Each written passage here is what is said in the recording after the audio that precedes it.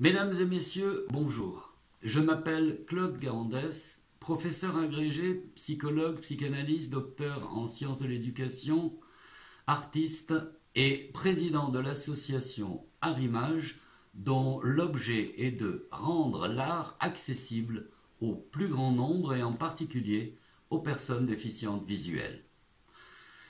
Tout d'abord, je tiens à remercier tous ceux qui ont œuvré pour qu'une telle journée existe particulier Madame Adeline Coursan, directrice du Centre de transcription Braille, CTEB, et toute son équipe, ainsi que la mairie de Toulouse en la personne de Sophie Grabiel, les remercier de l'honneur et du plaisir qu'ils m'ont fait d'avoir aujourd'hui la chance de vous rencontrer à l'occasion de cette conférence nationale sur le thème culture et accessibilité pour les déficients visuels et de pouvoir souhaiter l'anniversaire des 30 ans du CTEB et de participer aux dixièmes rencontres Ville et Handicap de la mairie de Toulouse.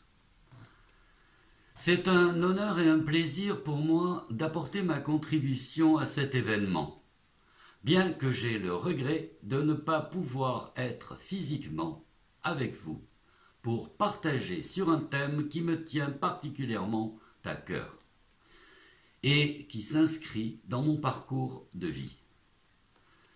C'est donc à travers mon expérience personnelle que je vais vous parler et convoquer cette notion d'accès à la culture ou de culture accessible. La culture, pour moi, est une et indivisible. Elle structure l'homme et la société autour de valeurs éthiques, esthétiques et humanistes.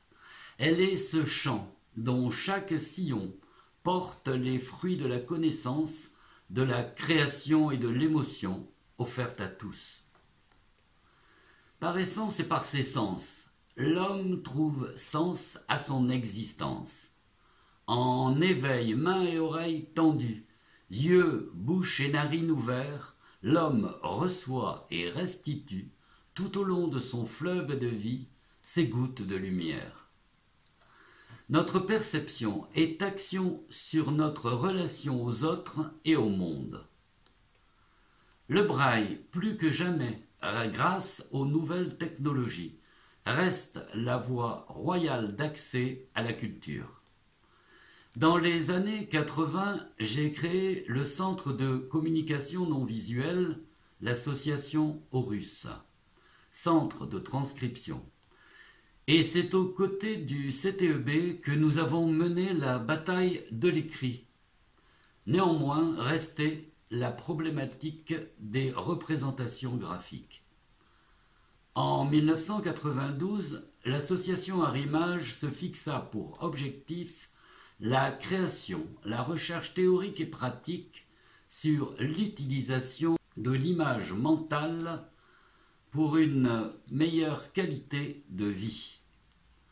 Nos ateliers ont permis de faire voir le jour à plusieurs ouvrages tactiles Van Gogh, Cocteau envisagé, Caressé Picasso, Matisse chorégraphe et plus récemment Le Petit Prince.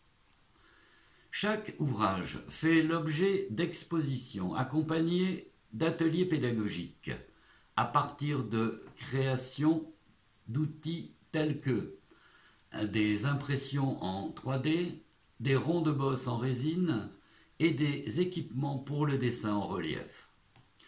Devant une réelle demande d'accès à la culture telle que visite de musées, d'expositions temporaires, de découvertes de lieux culturels ou de rencontres avec des artistes, nous avons développé l'attention des médiateurs culturels, des formations à l'audiodescription.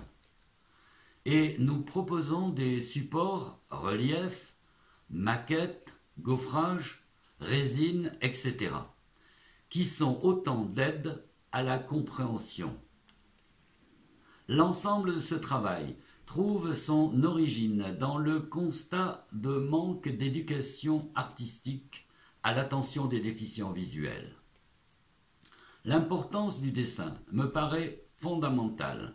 ce qui m'a amené à créer une station interactive de dessin assisté par ordinateur et de créer et de mener des recherches ainsi que la création d'œuvres qui m'ont fait reconnaître aujourd'hui, en tant qu'artiste, les spécificités qu'implique la déficience visuelle, offre un champ de recherche pour la création contemporaine avec des œuvres polysensorielles qui répondent aux besoins de participation de plus en plus grands des publics. Merci de votre attention et au plaisir de vous retrouver.